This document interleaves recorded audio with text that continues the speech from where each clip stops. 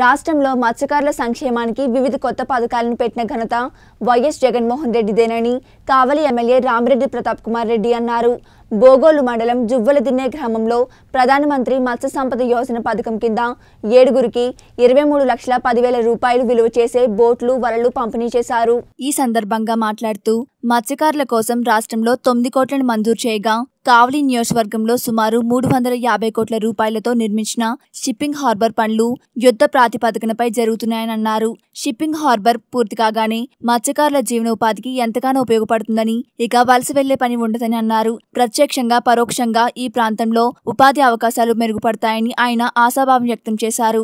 రాష్ట్ర ఆప్కో చైర్మన్ కొండూరు అనిల్ బాబు మాట్లాడుతూ మత్స్యకారులకు ఇన్ని సంక్షేమ పథకాలు అమలు చేసిన ఘనత వైసీపీ ప్రభుత్వందేనని ఇది గతంలో ఏ ప్రభుత్వానికి లేదని అన్నారు. మత్స్యకారుల హృదయాలలో ముఖ్యమంత్రి వైఎస్ జగన్మోహన్ రెడ్డి చెరగని ముద్ర వేసుకున్నారని అన్నారు. కావలి ఆర్డీఓ శ్రీను నాయక్ మాట్లాడుతూ జువ్వల దిన్నె షిప్పింగ్ హార్బర్కు సంబంధించిన భూముల పరిహారంలో ఎలాంటి అవకతవకలు జరగలేదని నిజమైన లబ్ధిదారులకు పరిహారం అందించామని అన్నారు. మాట్లాడి ఆ అమౌంట్ తీసుకొని వచ్చి మేము మత్స్యకారులందరికీ కూడా ఎక్కడ ఎటువంటి ఇది లేకుండా పంపిస్తే దానికి కూడా వేరే రకంగా అపవాదు చేసి చాలా ఇబ్బంది పెడుతున్నారు. బట్ ఇటువంటి మంచిది కాదని చెప్పేసి కోరుకుంటూ ఎవరికైనా నిజంగా ఏదైనా అన్యాయం ఉంటే రిటర్న్గా నాకు కంప్లైంట్ ఇవ్వండి తప్పకుండా యాక్షన్ తీసుకుంటాను.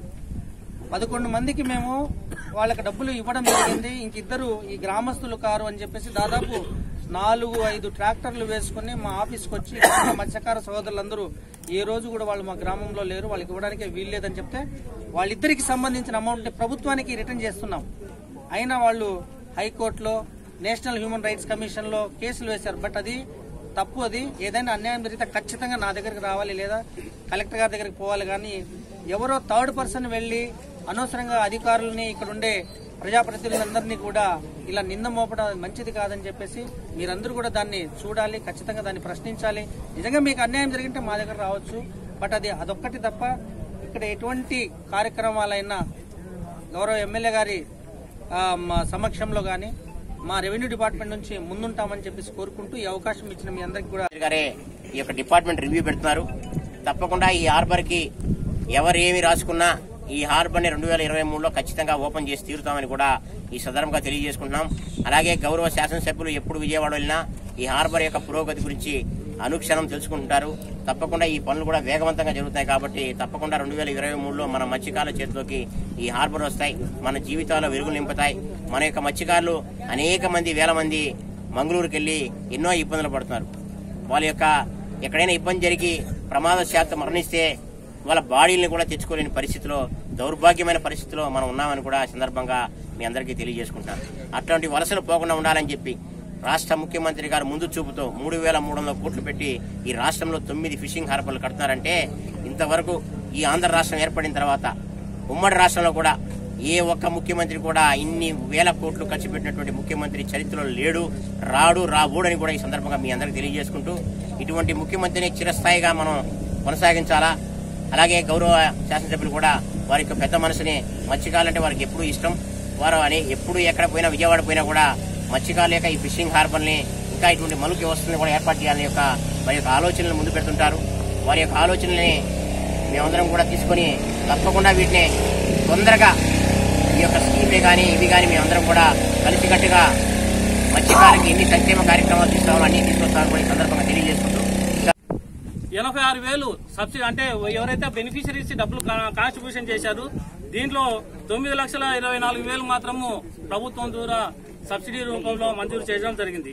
వీటిలో ముఖ్యంగా ఏంటంటే గన ఇదే విధంగా మనకి ఎవరైతే ఇప్పుడు హార్బర్ వస్తుంది ఈ హార్బర్ వచ్చిన తర్వాత భవిష్యత్తులో మనకేంటంటే గన మత్స్యకారులు దయచేసి ఎవరైతే పెద్ద పెద్ద బోట్లు కావాలంటే గాన పెద్ద యూనిట్స్కు ఈ రోజు స్టేట్ లెవెల్లో అంటే ఈ రోజు మార్నింగ్ ఏమిటంటే ఒక స్టేట్ లెవెల్ కమిటీ మీటింగ్ జరిగింది. వాటిలో ఎస్పెషల్లీ మనకు ఈస్ట్ గోదావరి కృష్ణా డిస్టిక్ తర్వాత వైజాగ్ డిస్టిక్ ఒక్కొక్క యూనిట్ కాస్ట్ ఒక కోటి ఇరవై లక్షల రూపాయలతో పెద్ద బోట్లు మనకు మంజూరు జరుగుతున్నాయి. మన మత్స్యకారులు ఎవరైతే ఉన్నారో వాళ్ళు దయచేసి మనకు మనకు హార్బర్ నెక్స్ట్ ఇయర్కు కంపల్సరీగా మనకు తయారవుతుంది. ఆ హార్బర్ కావాలన్నప్పుడు కంపల్సరీ పెద్ద బోట్లు అవసరం ఉంటుంది. మళ్ళీ ఆ టైంలో మనకు బోట్లు రావాలంటే కన్నా కష్టంగా ఉంటుంది. ఎవరైతే యూనిట్ కాస్ట్ లక్ష ఇరవై అంటే ఒక కోటి ఇరవై లక్షల లోపల ఉంటే గాన దాంట్లో ఉమెన్స్ గానీ ఎస్సీ ఎస్టీ వాళ్ళు ఉంటే గానా సిక్స్టీ పర్సెంట్ సబ్సిడీ ఉంటుంది. అదే బీసీ వాళ్ళకు ఓసీ వాళ్ళకైతే గానా ఫార్టీ పర్సెంట్ సబ్సిడీ ఉంటుంది. కాబట్టి మనము పన్నెండు దాదాపు పన్నెండు వందల నలభై ఎనిమిది అంటే నలభై ఎనిమిది లక్షలు మనకు సబ్సిడీ రూపంలో ఉంటుంది. బీసీ వాళ్ళకు ఓసీ వాళ్ళకైతే గాన. అదే ఎస్సీ ఎస్టీ వాళ్ళకంటే పన్నెండు వందల డెబ్బై రెండు డెబ్బై రెండు లక్షల వరకు మనకు సబ్సిడీ రూపంలో ఉండడానికి అవకాశం ఉంటుంది. కాబట్టి మీరు వాటిని జువోదిని ఫిషింగ్ హార్బర్ విజిటింగ్కి చూడటానికి రావడం జరిగింది. ఇక్కడ వర్క్ కూడా మన గౌరవ ముఖ్యమంత్రి జగన్మోహన్ రెడ్డి గారు ఏ విధంగా చెప్పున్నారో వీలైనంత తొందరగా ఈ హార్బర్ని మత్స్యకారులకి ఇవ్వాలా? కాబట్టి శగవేగంగా దీన్ని కంప్లీట్ చేయాలని చెప్పిన మేట ఈరోజు వర్క్ కూడా ఫోకస్ బాగా జరుగుతూ ఉంది. అదేవిధంగా దీనికి సంబంధించి ఈ టెట్రాపాట్స్ ఇవన్నీ కూడా దాదాపు సగం ఫిఫ్టీ పర్సెంట్ రెడీ కూడా అయిపోయి ఉన్నాయి. ఇంకా దీన్ని నాకు తెలిసి దాదాపు ఈ సంవత్సరం ఎండ్ కగా ఈ ఫిషింగ్ హార్బ్ అనేది రెడీ అవుతుంది. ఇక్కడ మత్స్యకారులకి జీవనోపాధికి ఇక్కడ ఒక అనుకూలమైన ప్రదేశంగా ఏర్పడింది. అంతేకాకుండా ఈరోజు జగన్మోహన్ రెడ్డి గారు మత్స్యకారులకి బోట్లు ఈరోజు ఇవ్వడం జరిగింది కొన్ని. అవే కాకుండా ఈ ఫిషింగ్ హార్బర్ మగబోట్లతోటి వేట చేసేదానికి కూడా ఈరోజు దాదాపు ఒక్కొక్క మగబోటు కోటి ఇరవై లక్షల రూపాయలతోటి ఇవ్వబోతా ఉన్నారు. దానికి సబ్సిడీ కూడా ఎస్సీ ఎస్టీ మరియు బీసీ మహిళలకు కూడా అరవై పర్సెంట్ సబ్సిడీ ఇవ్వబోతున్నారు అంటే దాదాపు డెబ్బై రెండు లక్షల రూపాయలు సబ్సిడీ ఇవ్వబోతున్నారు. అదేవిధంగా బీసీలకి ఓసీకి నలభై పర్సెంట్ సబ్సిడీ కూడా ఇవ్వబోతున్నారు. అంటే దాదాపు నలభై ఎనిమిది లక్షలకు సబ్సిడీ ఇవ్వబోతున్నారు. కాబట్టి ఈరోజు మత్స్యకారులు ఎక్కువ మంది చాలా మంది ఇంత గతంలో మ్యాంగ్లూరు గుజరాత్ పాండిచేరి ఆ విధంగా పోయే పరిస్థితి ఉంది. ఈరోజు పోవాల్సిన అవసరం లేదు.